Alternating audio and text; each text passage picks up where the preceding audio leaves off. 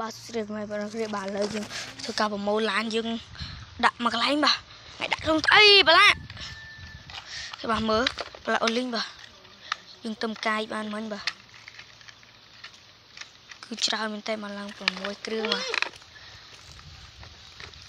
ហើយនៅអេកាយកាយដើរចេញទៅអីអូខេបាទឥឡូវយើងធ្វើការមើលឡើងឲ្យយើងរៀងមកចាស្អាតមួយមើលអូខេបាទវីដេអូយើងមានប៉ុណ្ណេះទេរៀបរៀបបាយបាយ